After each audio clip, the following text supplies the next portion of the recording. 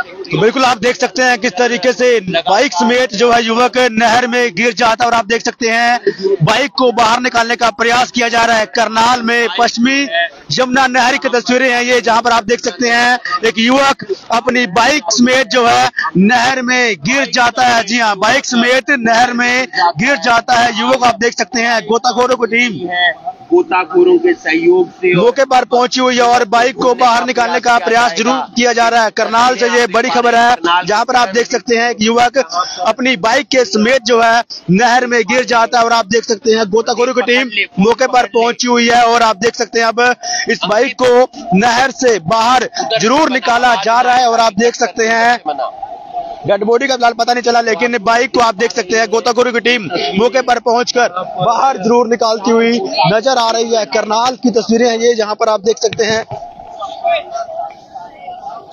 एक युवक जो है वो अपनी बाइक समेत जो है वो नहर में गिर जाता है और आप देख सकते हैं अब गोताखोरों की जो टीम है वो रस्सी के सहारे इस बाइक को बाहर निकालने का जो प्रयास है वो ज़रूर कर रही है। आप देख सकते हैं, बाइक को फ़िलहाल बाहर निकालने का प्रयास किया जा रहा है, लेकिन जो युवक था इस बाइक पर, उसका फ़िलहाल कोई अता पता नहीं है, लेकिन बताया जाता है कि बाइक पर बैठकर वो बाइक की रेस दे रहा था और ऐसे में एक बड़ी घटना ज़रूर हो जाती है और आप देख सकते हैं, बाइक को फ़िलहाल बाहर ज़रूर निकाला जा रहा है। करनाल में पश्चिमी बाईपास पश्चिमी नहर की तस्वीरें ये, जहाँ पर आप देख सकते हैं कि युवक अपनी बाइक के साथ जो है वो नहर में गिर जाता है, और आप देख सकते हैं पश्चिमी यमुना नहर में से अब बाइक को गोताखोरों की टीम बाहर निकालती हुई ज़रूर नज़र आ रही है, और आप देख सकते हैं अब कहीं ना कहीं जो युवक है उसको भी ढूँढने का प्रयास ज़रूर किया जाएगा, और आप देख सकते हैं बाइक को फ़िलहाल, बाइक को फ़िलहाल आप देख सकते हैं बाहर ज़रूर निकाल लिया है, बाइक को फ़िलहाल आप देख सकते हैं बाहर ज़रूर निकाल लिया गया है। नंबर भी आपको बताएँगे, बाइक का।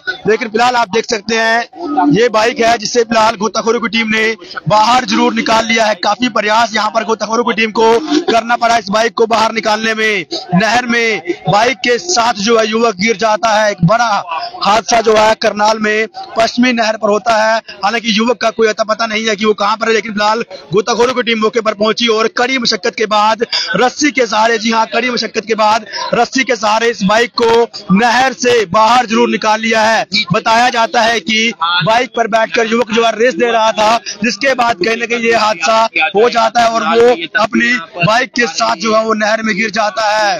बड़ी घटना जो है हरियाणा के करनाल में घट जाती है। बाइक पर बैठकर जो है रेस दे रहा था युवक और उसके बाद कहीं ना कहीं एक बड़ा हादसा ज़रूर हो जाता है। बातचीत भी करने का प्रयास करेंगे गोताखोरों की टीम से लेकिन फ़िलहाल आप देख सकते हैं इस बाइक को बाहर ज़रूर निकाल लिया है। नंबर भी बताएँगे बाइक का आपको लेकिन करण गोताखोर मौके पर पहुँचे हैं। उनसे बातचीत करेंगे। फ़िलहाल आप देख सकते हैं ये बाइक है बाइक है और इस बाइक पर युवक बैठा हुआ था और बाइक पर बैठने के बाद उसने रेस दे दी और उस रेस को देने के बाद वो युवक नहर में बाइक के साथ गिर जाता है। बातचीत भी करेंगे करण गोताखोर से बातचीत भी करेंगे करण गोताखोर से। एक बंदा मोटरसाइकिल से मेरे गिर गया जी। तो हम यहाँ पे शाम को छह साढ़े छह या सात बजे से पहुँचे थे उस बंदे को देखने के लिए तो यहाँ पे मौजूद नहीं था। जिसने देखा था वो, जो बच्चे थे वो कह रहे थे भाई हमारे को बंदा दिख रहा बंदा दिख रहा वो तो नारियल था। अच्छा। हाँ ताकि बंदा भाई अंदर डूब चुका था उस टाइम तो। कितनी उम्र का बता रहे थे कि कितनी उम्र का लड़का ये बंदे को पता नहीं जी कितनी उम्र का था जी लड़का। पर जवान था। पता चला नहीं अभी उसके बारे में उसके बारे में कुछ पता नहीं चला जी मोटरसाइकिल के उससे पता चलेगा भाई। फिर वह उसका एड्रेस पता चलेगा जी फिर पता करेंगे जी उसका। बाइक पर नंबर कहाँ का करनाल नंबर क्या कैसे हुआ? कुछ जानकारी क्या मिली? हमारे को जानकारी मिली थी जी सुबह शाम को छह सात बजे सी कि भाई एक मोटरसाइकिल समेत बंदा गिर गया। भाई जल्दी पहुंचो जल्दी पहुंचो हम जल्दी पहुँचे जी यहाँ पे ताकि बंदा बच सके। फिर उस टाइम बंदा डूब चुका था जी। क्या लग रहा है कि तेज रफ्तार या कोई ड्रिंग ड्रूम की वजह से ना गिर गया हो ऐसी कुछ नहीं यहाँ पे जो जिन्होंने देखा था वो कह रहे थे भाई रेस चेक कर रहा था मोटरसाइकिल की। रेस चेक करते बगैर उसका अच्छा तो क्लच से वो हाथ छूट गया होगा क्लच से। यानी वो खड़ा था यहाँ पे? हाँ खड़ा था वो रेस चेक कर रहा था मोटरसाइकिल मिल गई है उसकी हाँ जी, बाइक मिल चुकी है। चारों गोताखोरों का नाम क्या है? मेरा नाम करण है जी अनिल है नीरज है रवि है जी।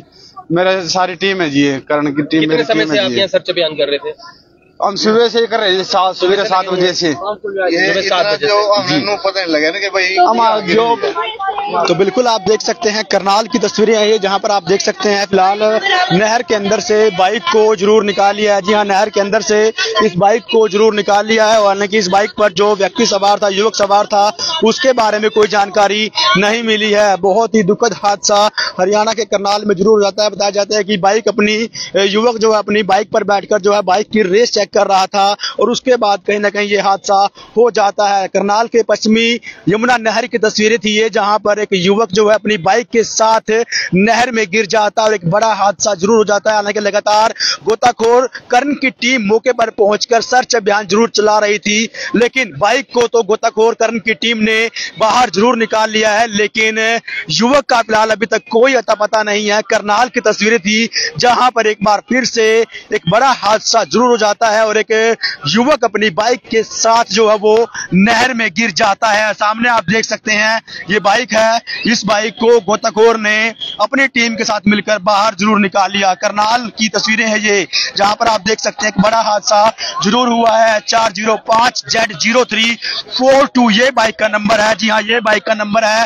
बाइक को गोताखोर ने अपनी टीम के साथ मिलकर बाहर ज़रूर निकाल लिया है। एक बड़ा हादसा ज़रूर हुआ है, एक बड़ी घटना ज़रूर हुई है। एच आर ज़ीरो पाँच Z zero three four two ये बाइक का नंबर है, जो गोताखोर करण ने अपनी टीम के साथ मिलकर इस बाइक को बाहर निकाल लिया है। बहुत ही बड़ी घटना हरियाणा के करनाल में घट जाती है, जहाँ पर आपको बता दें कि एक युवक अपनी बाइक की रेस चेक कर रहा था कि उसकी बाइक की रेस बिल्कुल ठीक है या नहीं, और जैसे ही वो बाइक की रेस देता है, उसके बाद कहीं ना कहीं वो बाइक के साथ जो है नहर में गिर जाता है, और लगातार गोताखोर करण की टीम मौके पर पहुंचकर सर्च अभियान चला रही थी। बाइक को निकाल लिया गया है, लेकिन युवक कहाँ का रहने वाला है?